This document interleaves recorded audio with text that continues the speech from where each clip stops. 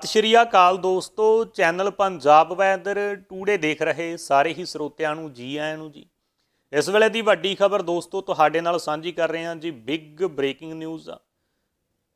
ਕਰਿਆਨੇ, ਦੁੱਧ ਅਤੇ ਸਬਜ਼ੀ ਦੀਆਂ ਦੁਕਾਨਾਂ ਬੰਦ ਦੇ ਬਾਰੇ ਆ ਗਈ ਵੱਡੀ ਖਬਰ। ਵੀਡੀਓ ਅੰਤ ਤੱਕ ਦੇਖ ਲਿਓ ਦੋਸਤੋ, ਤੁਹਾਨੂੰ ਪੂਰੀ ਖਬਰ ਦਾ ਪਤਾ ਲੱਗ ਜਾਵੇਗਾ। ਵੀਡੀਓ ਨੂੰ ਲਾਈਕ, ਚੈਨਲ ਨੂੰ ਸਬਸਕ੍ਰਾਈਬ ਅਤੇ ਵੀਡੀਓ ਨੂੰ ਸ਼ੇਅਰ ਕਰਨਾ ਨਾ ਭੁੱਲਿਓ। ਜਿਵੇਂ ਕਿ ਤੁਹਾਨੂੰ ਪਤਾ ਹੈ, ਪੰਜਾਬ ਦੇ ਵਿੱਚ ਰਾਤ ਦਾ ਕਰਫਿਊ ਲਾਗੂ ਕੀਤਾ ਗਿਆ ਹੈ।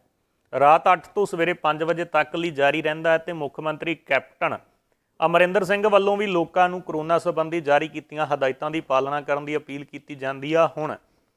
ਤਾਲਾਬੰਦੀ ਦੇ ਦੌਰਾਨ ਕਰਿਆਨੇ, ਦੁੱਧ ਅਤੇ ਸਬਜ਼ੀ ਦੀਆਂ ਦੁਕਾਨਾਂ ਬੰਦ ਰੱਖਣ ਦੇ ਬਾਰੇ ਇੱਕ ਵੱਡੀ ਖਬਰ ਸਾਹਮਣੇ ਆਈ ਆ। ਕਰੋਨਾ ਦੇ ਵੱਧ ਰਹੇ ਕੇਸਾਂ ਨੂੰ ਦੇਖਦੇ ਹੋਏ ਜ਼ਿਲ੍ਹਾ ਜਲੰਧਰ ਦੇ ਵਿੱਚ ਡਿਪਟੀ ਕਮਿਸ਼ਨਰ ਜਲੰਧਰ ਵੱਲੋਂ ਕਰੋਨਾ ਮਹਾਮਾਰੀ ਤੋਂ ਬਚਾਅ ਦੇ ਲਈ ਪੱਤਰ ਨੰਬਰ 5742/55 ਐਮਏ ਮਿਤੀ 19/4/2021 ਰਾਹੀਂ ਜ਼ਿਲ੍ਹਾ ਜਲੰਧਰ ਦੇ ਵੱਖ-ਵੱਖ ਪਾਬੰਦੀਆਂ ਦੇ ਹੁਕਮ ਜਾਰੀ ਕੀਤੇ ਹਨ, ਕਿਉਂਕਿ ਰੋਜ਼ਾਨਾ ਹੀ ਕਈ ਮਰੀਜ਼ ਸਾਹਮਣੇ ਆਉਣ ਤੋਂ ਬਾਅਦ ਸਖਤ ਹਦਾਇਤਾਂ ਜਾਰੀ ਕੀਤੀਆਂ ਜਾ ਰਹੀਆਂ ਹਨ।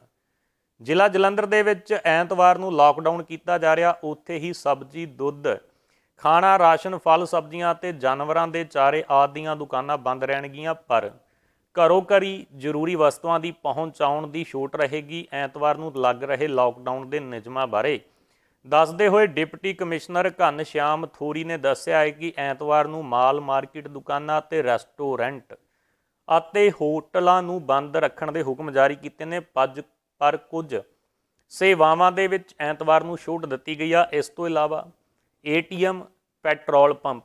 ਖੁੱਲੇ ਰਹਿਣਗੇ, ਡਿਪਟੀ ਕਮਿਸ਼ਨਰ ਨੇ ਇਹ ਵੀ ਸਪਸ਼ਟ ਕੀਤਾ ਹੈ ਕਿ ਇਸ ਦੌਰਾਨ ਹਾਈਵੇ ਤੇ ਆਵਾਜਾਈ ਚਾਲੂ ਰਹੇਗੀ, ਜਿਸ ਦੇ ਮੁਤਾਬਕ 24 ਘੰਟੇ ਦਿਨ ਰਾਤ ਸ਼ਿਫਟਾਂ ਵਿੱਚ ਚੱਲਣ ਵਾਲੀਆਂ ਫੈਕਟਰੀਆਂ ਦੇ ਮੁ- ਕੰਮ ਕਰਨ ਵਾਲੇ ਮੁਲਾਜ਼ਮ ਕੰਮ ਕਰ ਸਕਣਗੇ। ਮੈਡੀਕਲ ਦੀਆਂ ਦੁਕਾਨਾਂ ਖੁੱਲੀਆਂ ਰਹਿਣਗੀਆਂ। ਦੋਸਤੋ, ਤੁਹਾਡੀ ਗਰਾਊਂਡ ਰਿਪੋਰਟ ਕੀ ਆ? ਜੇਕਰ ਸਾਡਾ ਕੋਈ ਵੀ ਵਿਊਅਰ ਜਲੰਧਰ ਸ਼ਹਿਰ ਤੋਂ ਸਾਡੀ ਖਬਰ ਸੁਣ ਰਿਹਾ ਹੈ, ਸਾਡੀ ਵੀਡੀਓ ਦੇਖ ਰਿਹਾ, ਤਾਂ ਕਮੈਂਟ ਸੈਕਸ਼ਨ ਦੇ ਵਿੱਚ ਆਪਣੇ ਕੀਮਤੀ ਵਿਚਾਰ ਜ਼ਰੂਰ ਰੱਖੇ ਵੀ ਜਲੰਧਰ ਸ਼ਹਿਰ ਦੇ ਵਿੱਚ ਕਰਫਿਊ ਦੇ ਕੀ ਲੱਗਾ ਹੈ ਜਾਂ ਨਹੀਂ ਲੱਗਾ, ਕੀਮਤੀ ਵਿਚਾਰ ਤੁਸੀਂ ਰੱਖ ਸਕਦੇ ਹੋ। ਧੰਨਵਾਦ।